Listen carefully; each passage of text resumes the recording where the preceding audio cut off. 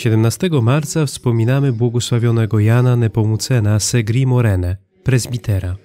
Jan Nepomucen urodził się 11 października 1831 roku w Grenadzie w Hiszpanii, w bardzo pobożnej rodzinie chrześcijańskiej.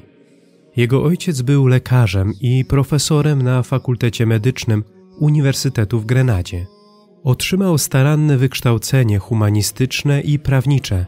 Był bardzo zdolnym uczniem i mimo świetnie zapowiadającej się kariery lekarskiej i prawniczej, w wieku 18 lat wstąpił do seminarium duchownego.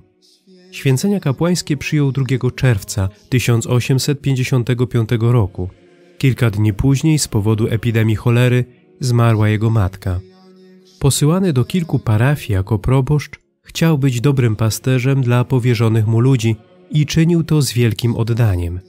Zlecano mu też inne obowiązki, między innymi był profesorem w seminarium, sędzią kościelnym, kaznodzieją królowej Izabeli II i kapelanem królewskim.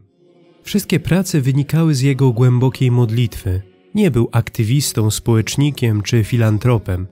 Metody pracy wyczytywał z kart Pisma Świętego. Jako człowiek gruntownie wykształcony, ale także zauważający potrzeby osób marginalizowanych, w 1878 roku założył Zgromadzenie Sióstr Miłosierdzia Najświętszej Marii Panny od Miłości. Zgromadzenie rozwijało się bardzo dynamicznie. Ksiądz Jan wiele uwagi poświęcił rozwojowi życia duchowego sióstr, akcentując zwłaszcza miłość do Jezusa Odkupiciela i Maryi, Matki Miłosierdzia. Niestety w roku 1888 przez niektóre z sióstr został bezpodstawnie oczerniony i oskarżony, m.in. o działalność niezgodną z nauczaniem Kościoła.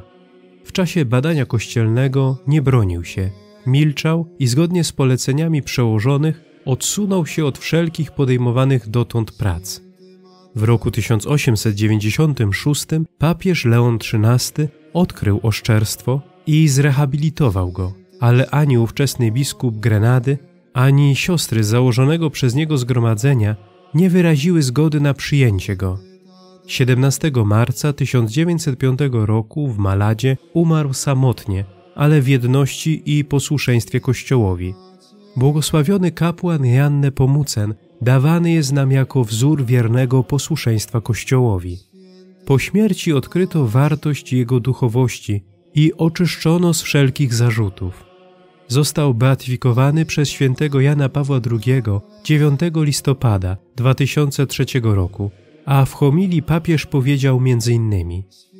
Jan Nepomucen z Ergi Morene, wzorowy kapłan o głębokim nabożeństwie do Eucharystii, bardzo dobrze zrozumiał, że głoszenie Ewangelii powinno stać się dynamiczną rzeczywistością, zdolną przemieniać życie apostoła. Postanowił, że jako proboszcz będzie widzialną opatrznością dla wszystkich, którzy cierpią z powodu swojego osierocenia, piją kielich goryczy i karmią się chlebem udręki. Z tym nastawieniem kształtował własną duchowość odkupienia, zrodzoną w zażyłości z Chrystusem i wyrażającą się w miłości do najbardziej potrzebujących.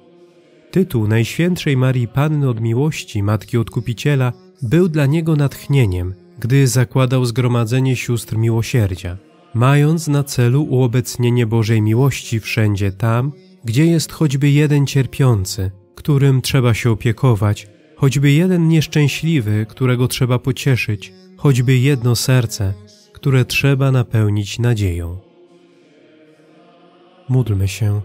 Boże światło i pasterzu wiernych, Ty postawiłeś błogosławionego Jana Nepomucena na czele Twojego ludu, aby go karmił słowem i kształtował własnym przykładem.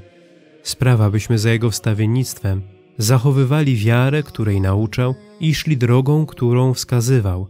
Przez naszego Pana Jezusa Chrystusa, Twojego Syna, który z Tobą żyje i króluje w jedności Ducha Świętego, Bóg przez wszystkie wieki wieków. Amen.